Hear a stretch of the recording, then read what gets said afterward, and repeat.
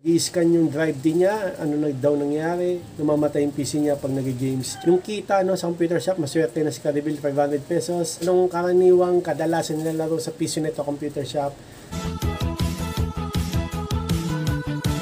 Kung gusto nyo magpa-shoutout mga Caribil, ito comment nyo, pa-shoutout Caribil at si Jomel Castulo. Please subscribe nyo ako sa iba ko pang YouTube channel, nandiyan sa baba yung link. At please follow nyo ako sa iba ko pang social media account ko, nandiyan din sa baba yung link, lalo na sa TikTok ko. Yun lang, thank you. Oh yeah! What's up kamusta mga karabil? Jomel Castulo here. Ang may pinamalas na pwersa sa buong kalawakan at yun na nga no mga karabil, wala si Nathan. May pasok siya pa nga po at wala pa naglalaro.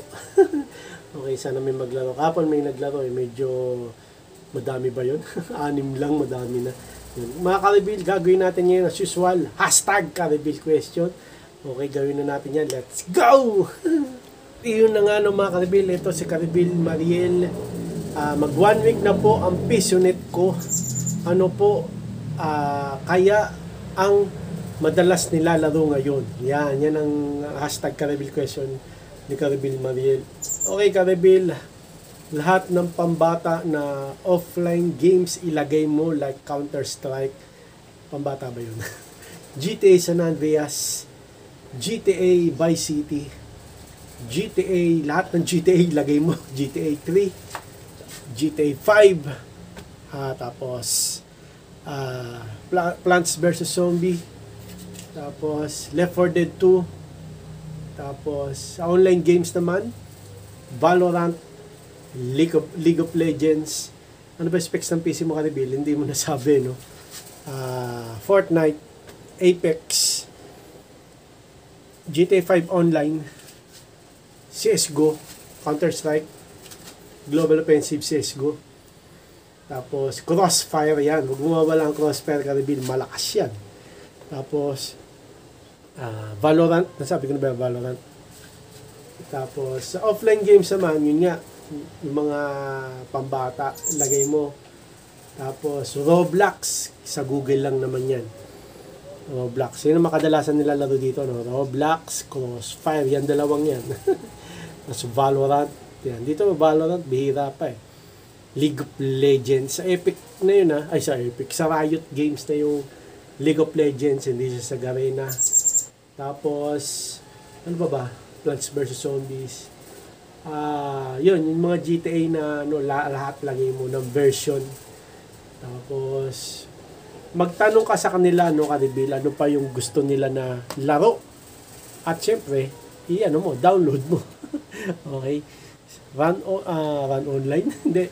Oh, pwede rin. Basta, ano, kung ano yung sinabi nila, Karibil, magtanong ka sa kanila, yung mga naglalaro. One week pa lang, bago pa lang yung pisonet ni Karibil Mariel. Sinaulado ko na lang kasi yung cellphone na pinagbabasahan ko ng comment na, na kay Nathan cellphone ay nawala, na nakakawa. Kaya sinasaulado ko na lang yung comment kasi wala ko cellphone eh. yun. Pero sinaulado ko, yun nga, yung hashtag Caribil ni Caribil Mariel. One week pa lang yung pisonet niya. Anong kadalasan na nilalaro. Yun na Caribil, yung sinabi ko kanina. Lahat ng pambata na offline games, ah, lagay mo. Tapos yung mga bago, lagay mo rin. Pero hindi ko ano yung ano mo, no? yung specs ng PC. Specs ng PC mo, hindi mo nasabi. NBA 2K23 kung pwede. Diyan sa specs ng PC mo. Basta lahat ng bago ka reveal, lahat ng bagong games, hanggat maaari ilagay mo, no? Huwag lang hindi kaya ng PC mo. okay, kasi useless din. Kaya dapat ilagay mo yung, ilagay mo yung games na kaya lang ng PC mo, okay? At ah, nilalaro kasi baka pagka nila ah, nilagay mo hindi rin na, nalalaro kakain lang sa space. Pero kung diskless ka ayos lang okay? Kasi pag diskless doon mo lang lalagay sa diskless server doon yan. Pag kasi pag traditional isa-isain mo eh. Medyo mahirap. So yun. Sa online games kadalasan Roblox. Sa Google lang yan dina-download. Crossfire, League of Legends, Valorant, Fortnite, Apex, Call of Duty Warzone, yan, hindi ko naalala. Ay, hindi ko naalala. hindi ko, buti naalala ko. Yan. Tapos, maglagay ka ng emulator, no? Caribil, ah, Mobile Legends. Pwede sa PC yan. Tapos, Call of Duty Mobile. Yan. Tapos, ano pa mga Caribil? Comment nga kayo. Baka may nakalimutan ako, no? Na madalas nilalaro sa PisoNet or computer shop. Ano pa ba? Ah, yun na, halos yun na, no? Comment na lang kayo sa mga karibin natin dyan na madalas nilalaro sa PisoNet or computer shop para madagdagan yung mga sinabi ko. Yun, tapos Counter-Strike Extreme. Lahat ng version ng Counter-Strike, lagay mo rin. Lahat ng version ng GTA, lagay mo rin. Tapos, lagay kang Devil May Cry, Spider-Man, yan, yung remastered, yung ganda ng graphics no. Meron din, Spider-Man, Morales, yan. Maganda yung ano, no, Caribil, ah, God of War, yan. Lagay ka, lagay mo yung mga bago, Caribil, tsak patok yan sa mga bata, no. Tapos, mga old din, lagay mo. Tapos, yung mga bago na games, lagay mo. Lahat ng online games na maganda, lagay mo. Lahat ng sinabi ko, Caribil, hanggat maaari ilagay mo. Pero dapat kaya ng PC mo, okay? Huwag ka maglalagay ng hindi kaya kasi baka masabihan ka ng bulok PC. Di ba yung mga ganun mga bata sabi, ay bulok PC. okay, Karibil? Yan. ayun na nga, no? Yan, si Karibil Bogski. Ayun na nga. Maswerte na akong maka 500 pesos pero okay lang kaysa wala.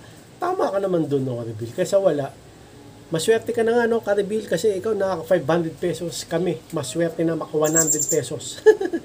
yun. Uh, minsan, swerteng-swerte na maka 200 pesos. Yun. Kasi nga, Karibil, may dalawang malaking computer shop dito nung bukas. Yun. Pero hindi pa rin ako nawawala ng pag-asa. Gaya na sabi mo, kesa wala, no? Yan. Baka itong dating na pasukan, yan, uh, lumakas ulit, no? Yan Tama ka no, Aribil, uh, pinatay na tayo ng mobile games. So, hindi lang mobile games, pati mobile application, di ba? Kasi dati, nung wala pang Facebook sa cellphone, ang dami nagpa-Facebook lang sa amin, ang dami lang nag-YouTube. Eh ngayon, pwede na dito sa Android phone, mag-Facebook, mag-YouTube, maglaro. Eh, gaya ng sabi mo, pinatay na rin tayo ng mobile games. Isa yan sa nap- nagpahina sa atin pero sa akin dito sa Caribil, uh, yung ano ko competitor na dalawang malaking computer shop ang medyo nagpapahina sa amin pero dadasal pa rin ako na bumalik yung dating lakas sa amin.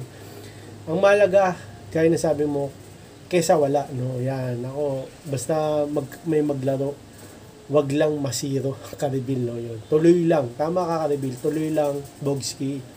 Tuloy-tuloy lang, tiyaga, sipag, dasal, ano pa ba, uh, think positive, di ba? Tapos, uh, yun nga, think positive. Kasi pagka nag-isip ka ng positive, yung buhay mo o computer shop mo, may maglalaro, di ba?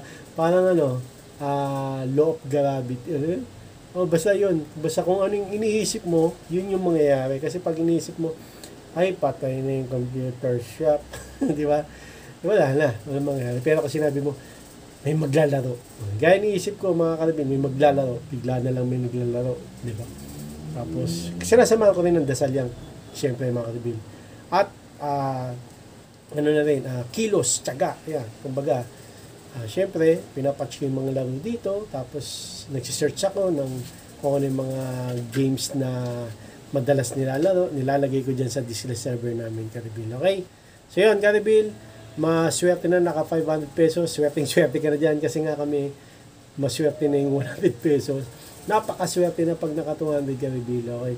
Bago dumating kasi yung dalawang malaking computer shop dito na competitor namin, eh medyo umuokay na, no? Umuokay na computer shop namin. Kaso nagto 200 pesos lang yun. Kaso ngayon, nga, nag 100 pesos. Pero itong pasukan sa June, sana bumalik yung dating lakas sa magpapalakas niyan ay mga cutting. cutting, you know. Hindi, yung mga estudyante nakakauwi lang, okay? Huwag yung cutting, kasi mga cutting na yan, bawal yan sa computer shop. Yan, yung lakas ng computer shop pag may mga cutting. Hindi, pero bawal yan. Okay? Sana, uh, tong pasukan, pagtapos ng pasukan na to, magpapasukan, sana bumalik yung dating lakas ng computer shop namin. Pero sa ngayon, nagdadasal ako na uh, may maglaro, wag lang masiro Caribil. Okay? Yan. At yun na nga ng mga Caribil, si Caribil, John Derrick. Caribil, bakit yung PC ko Ah, may lumalabas na scanning D. Dati wala naman. Yan. Okay ka, Reveal. Ibig sabihin yan, baka hindi na proper shutdown yung PC mo. Pagka hindi na proper shutdown, ah, mag scan yan. Katulad ng sa'yo, i-scan niya yung drive D. Kasi baka hindi natapos yung pagbabasa dyan sa hard disk. Kasi hard disk kasi may ano yan eh. May sector yan, may disk. Nagbabasa niyan pag hindi na proper shutdown, mag scan yan, kalibilang. Gawin mo dyan, antay mo lang matapos yung scanning ng D. Okay? Pag natapos na scanning ng D, mag-restart yan. Tapos, papasok sa Windows. Pag i-proper shutdown mo na yung PC mo, okay? Pag bukas mo ng PC mo, wala nang scanning yan, kalibilang. Okay? Make sure na i-proper shutdown nyo yung mga PC nyo karabil kasi pag hindi na pa proper shutdown ng isang PC pwedeng ma-damage o masira o magkaroon ng bad sector ang hard disk drive okay? Kasi nga hard disk drive. Kasi nga may disk yan eh. May disk yung hard disk drive. Tapos may parang pin na nagbabasa per sector. Kaya dapat bago ma-shutdown yung PC matapos siya magbasa. Okay? Kasi pag hindi siya natapos magbasa yung hard disk sa disk, yung pin, pwedeng masira yung sector, magkakaroon ng bad sector, yun na yung simula ng pagkasira ng isang hard disk. Kaya nag scan yan para matapos yung pagbabasa ng disk sa hard disk drive. Okay? Para maayos yung parang, yun nga, hindi natapos. Okay? Okay lang yan. Uh, tapos yung mula scanning ng drive D pero next time, wag mo na ay next time i-proper shutdown mo na, okay? Para hindi hindi na maganyan ng scanning. Okay, Karibil? Uh, tapos proper shutdown mo yung PC mo para hindi na maganyan. Okay? Yan. At yun na nga ng mga Karibil. Ito, last. Uh, si Karibil RX1. Bakit sa akin Karibil? Pag inopen ko yung PC ko, okay naman. Pero pag naglalaro, namamatay yung PC, no? Okay, kanabil na experience na namin yan dito sa computer shop namin. Pag ino-open yung PC, ayos. Pero pag naglalaro, namamatay. Okay? Paano namamatay, karibil? Nag, ano ba, uh, talagang power off, gano'n, nag-shutdown, ganyan. Kasi pag ganyan namamatay, may kinalaman dyan yung power supply, ayun o, yung power supply. Okay, ibig sabihin, kaya uh, naglalaro ka, no, kasi pag naglalaro ang isang PC o nagpe-play siya ng games, kailangan niya na mas malakas na power. Okay? Kaya siguro mahina na yung power supply mo. Ayan. Ito pa. Ayan. Mahina na siguro yung power supply mo. Kaya pag naglalaro ka, hindi mo nasabi kung anong games, nag-shutdown siya. No? So, try mo, Karibil, uh, change mo yung power supply. Gamit ka ng iba. Pwede ka manghiram muna uh, tapos try mo sa'yo, pwedeng ano din, Caribil, uh, yung nag-overheat yung PC mo. Okay? Nag-overheat. Kasi, pagka nag-overheat ang isang PC, pwede siya mag-auto shutdown. Okay? Pero, gaya ng sa processor, Caribil, wala na siyang thermal paste, tapos, uh, ginamit mo, lalo na games, nag-auto shutdown siya kasi yung processor, pwede yung masunog pag wala na siyang thermal paste. Yun yung na-experience na rin namin dati.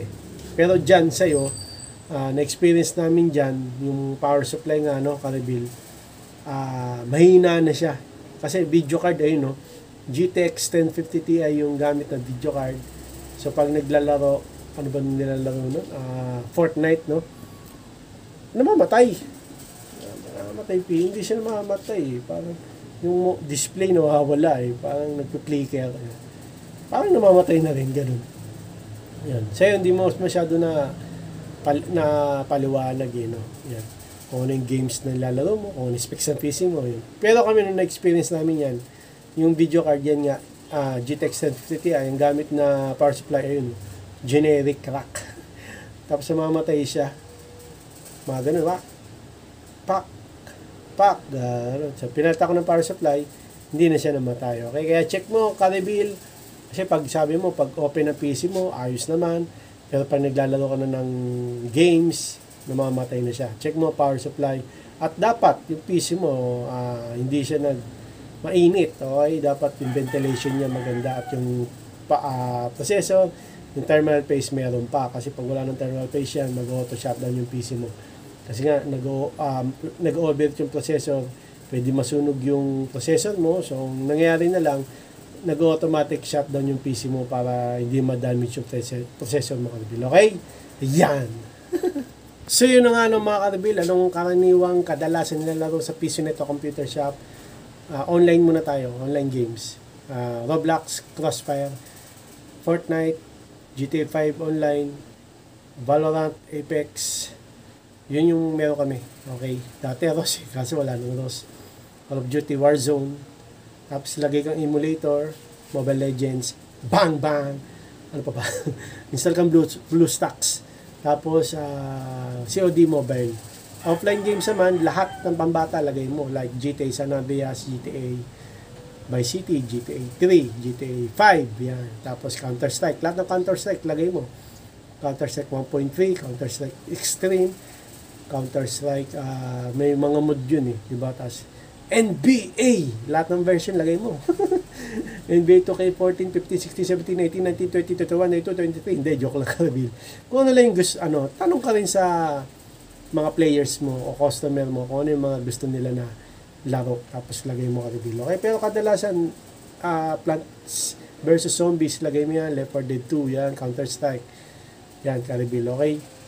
Roblox, yan, sa bilang yun. Tapos, yung kita no, sa computer shop, maswerte na si Karibil, 500 pesos. Maswerte ka na talaga dyan, Karibil. Kami, kasi kami, maswerte na maka 100. swerte swerte maka 200. Pero, gaya na sabi mo, kaysa wala, di ba? Tama ka, kaysa wala, di ba? Kami kahit, ah wag lang masiro, kahit makakita lang kami ng kahit konti. 200, kulang-kulang. Yan. Dumada kami sa pagsubok ngayon eh. Pero gaya na sabi mo, tuloy lang. Tama ka, Rebel, tuloy lang tayo. Dasal, yan. Think positive. may law of attraction. Pag nag-think positive ka, yan, may maglalaro. Pag inisip mo may maglalaro, may maglalaro. Tapos, nag scan yung drive din niya. Ano na daw nangyari. Baka hindi na proper shutdown yung PC mo. Kami ha, experience namin dito, pag hindi na proper shutdown yung PC na may hard disk, naggaganyan, nag-scanning. Tapos, mo lang yung pag-scan yan, tapos eh, restart yan, tapos okay na yan. Pagka nag-restart ulit, okay na yung PC mo, hindi na mag-scan yan. Tapos, or repair mo, repair mo yung drive sa Windows, right click, check, check mo yung drive, tapos repair, okay? Cause yan ang hindi proper shutdown. Tapos, i make sure na proper shutdown mo na yung PC mo para hindi na maganyan yung hard disk drive mo ka-rebuild. Tapos, ah, yung uli, namamatay yung PC niya pag nag-games, check mo yung power supply. Kadalasan kasi pag namamatay ang isang PC, nasa power supply yan, Kalbil. Okay, so yun na muna mga sagutin natin mga Kalbil. Kung meron kayong tanong, comment nyo lang yan. Gagawin ko ng ganitong ah, video at kung meron kayong request sa video vlog content, comment nyo lang yan. Kahit hindi related sa computer, comment nyo na yan para magawa na namin agad-agad. So hanggang dito lang mga Kalbil. Sana nakatulong to video na to. Sana nagustuhan nyo din. Please like, comment, please share, please subscribe, and click nyo na yung bell button. Kameme. Ha! Para updated kayo pag may bagong upload tayong video sa muli mga Kalbil. Salamat sa panonood talaga. God bless you at po ulit. Bye. Oh, yeah. Bow ng headset. at yun na nga no, mga karibilan dito na si Dom Dom Hindi pala kala kay Jones eh. Yuri. ha? Laro Yak sila ng Roblox. Nakita ko. Si Dom Dom naglalaro ng Roblox. Dom, alam mo na yan. Like and subscribe. Ah, si Yuri. Like and subscribe. Yun. Asan na si